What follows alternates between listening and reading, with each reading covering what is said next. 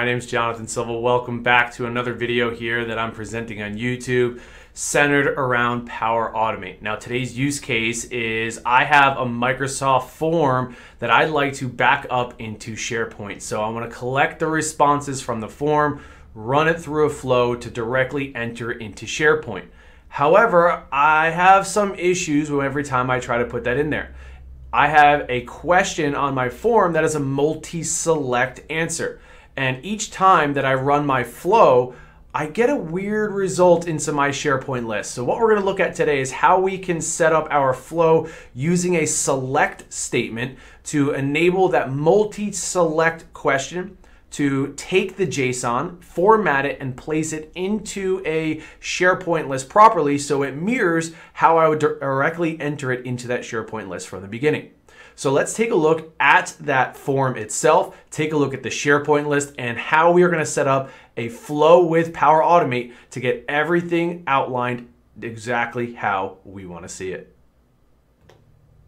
All right, so Right now, all we have is our Microsoft form here. This is a very basic form that I set up with just three different questions, just centered around, you know, what is your favorite color or favorite colors if you want to multi-select that. Now for the form, I have a few things here to uh, collect, just a simple a name field. So that's a text style question. I have a single choice option here with our age group. So just simply select what is your age group. And then I also have a multi-select option here for question number three. What are your favorite colors? So just asking someone to add in maybe two, three, whatever they may have for their favorite colors in that case. And then what I'd like that to do is to back up inside of a SharePoint list. So I'm gonna take a look at my SharePoint list real quick come on over here and you can see directly I've added in one test that I've already done that I've just simply come in here to our list added in some uh, some answers to those same questions and see how they're stored on our list. And what I'd like to do is replicate this directly from the form into the list. So let's take a look at a flow that I've pre-built a little bit with some of those steps to go ahead and, and take that process. And then we'll take a look at um, how to make this work a little bit nicer. So simply put, our trigger here is when a response is submitted on our form. There's my favorite colors form. Okay, it's the exact one I'm pointing to. What I then want to do is get the response details from that form based on the response ID. So whichever response comes in, and there's my dynamic content there, whichever response comes in, I want to then go ahead and use that specific response to place into my SharePoint list. So how do I do that? Well, I come over here and I select create item. Okay, create an item in SharePoint. So far, I've pointed to the site address. I've pointed to my list. And now I just need to add in my dynamic content in those three questions to write into the SharePoint list. So for the first one, for our title here, like that's our default, but that's gonna be my first one as our name. The age group value here, okay? We're gonna come in here and with our age group value, go ahead and select enter custom value. I don't wanna hard code it in. I wanna put in some dynamic content. So enter custom value is the way to go. So I'll just add that in here. And then the same thing for our favorite colors. I wanna add in some of that dynamic content. So I enter custom value right here and then I can add that in, what are your favorite colors? Now what you'll notice is right away, there's a bit of a difference between our age group value here and our favorite colors value area to input. The big difference is our age group value right here, that's a single choice option. Okay, and because it's a single choice option, it's just another field that we would see anywhere else. When we get into the multi-choice option here, that's what you'll notice this other section down at the bottom, where if you wanted to, you can add in another item here as another value to add to hard code in or to dynamically put in because it's multiple choices. If it's multiple choices, we have multiple fields to be able to add into if we so chose. Okay, in this case, what we'd like to do is make that dynamic. We don't want to hard code anything in there. We want it to be directly taken from the form itself. So let's take a look at what this looks like if I were to run it right away. So I'm gonna go ahead and hit save from here. I'm gonna test it by just adding in a, an additional um, input into our form here and see how it, it pulls into SharePoint. So I'm gonna hit test, I'm gonna do a manual test and go from there. Just waiting on it to come all the way through. I want to make sure it gets to, there it is. And I'm going to come in here to our SharePoint list. I'll call this Jonathon's test two from the form. Okay, I'll put my age group. I'm gonna try to match exactly what the first one is, just to see like a side by side, and then we can play around with it a little bit. So 30 to 45, and I believe we chose yep red and blue. So red and blue. Okay, so we're matching the same thing here, just adding in a little bit of a different title. There we go, and hit submit. And now here goes our flow.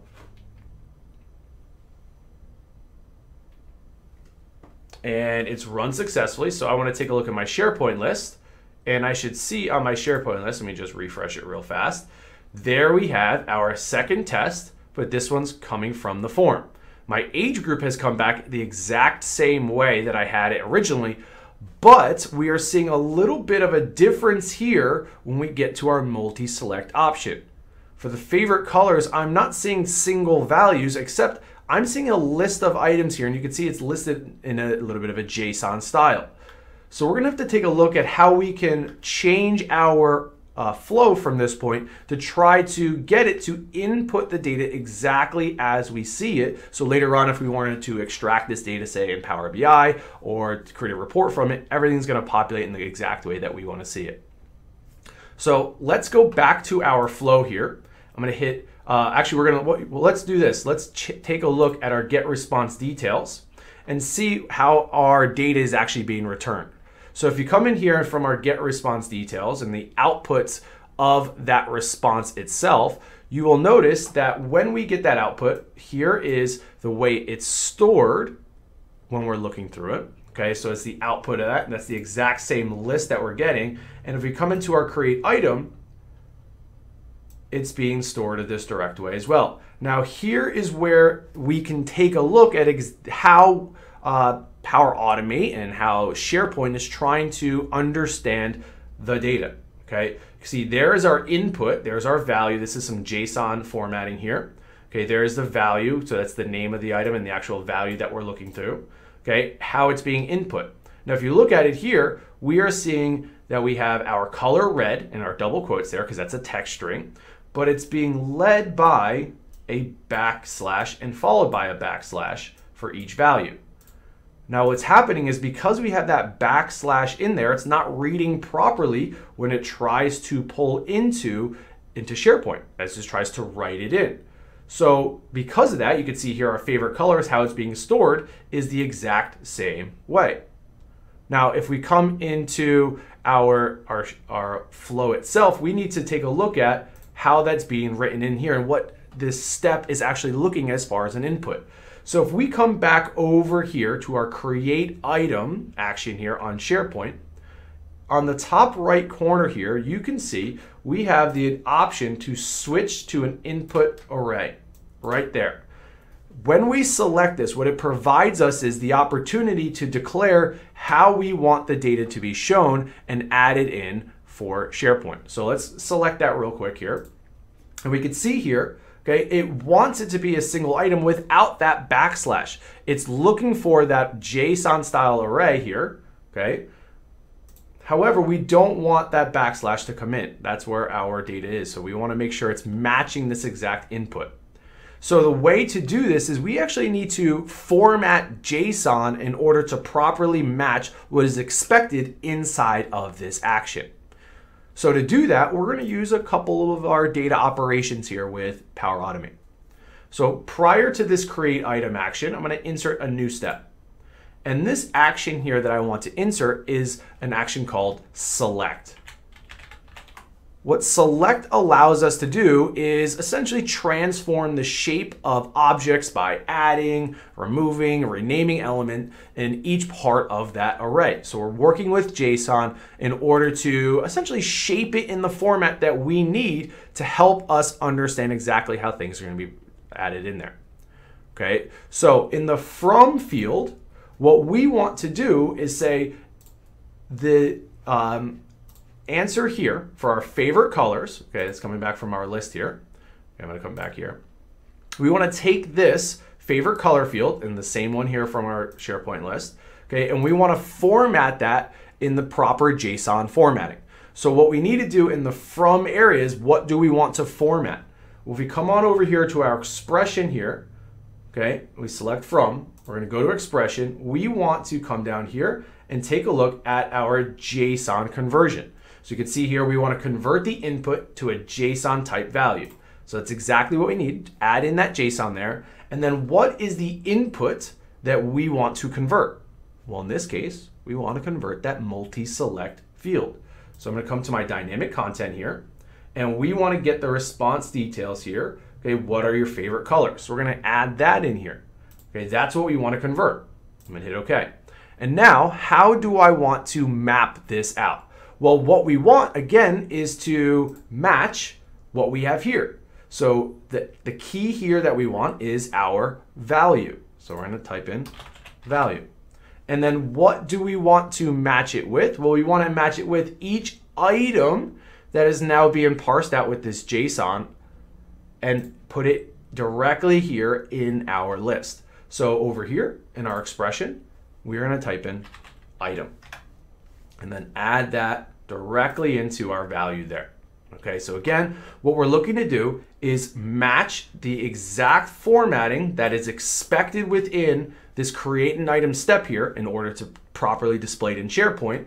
We're using the select action here to format that input in a JSON. So we can now take each and every single item within that as a separate piece. We're gonna label that with a value and then each item separately after that. All right, so now we can add in the output from that select statement here inside of our create item action. So let's clear out all of this in here, okay? And once we clear out that, that expected JSON that is coming from uh, our output there, from our, our action here, get response details, we can now input the output from that select action as our dynamic content. So we're gonna use that output there okay, to format the JSON and then properly input it into our SharePoint list. So if we hit save, let's go ahead and test this now. And what we're gonna do is one more test from our form. So I'll do another manual test in this case just to go through the process. I could have used an automatic one. We can do another manual test here. So I'm gonna come here, use a manual test, add in another item. I'll call this, let's see, I'll call this test three from the form and then match it the same way here. And then we'll do one more to make sure everything's coming back. All right, so I'm gonna go here and call this Jonathon's test three from the form. Whoop. Make sure I wanna match that up as, as much as I can. We'll do the same thing here, and I believe I chose red and blue, and hit submit. Make sure my flow's good. There we go and we'll come back to our flow. And as it runs through, let's take a look. It's run successfully. Let's take a look at the output now that we're getting from here. So if you look at the output that we're adding in, or that's being used from our select statement that's now being used as input into the SharePoint list, you'll notice we, we already have a different value here. Instead of having that list of items between red and blue that's separated that in that JSON format, we now have two different items that are being pulled through. So two separate choices here. So now we have those two choices. Let's see how they comes here with our favorite colors. There's a value, there's another one. We should have on our SharePoint list, there it is, two separate choices rather than one single choice in a list there. So we now have the exact format that we want to see. So if I came in here to our form and did it one more time, try to do another response here. Let's put in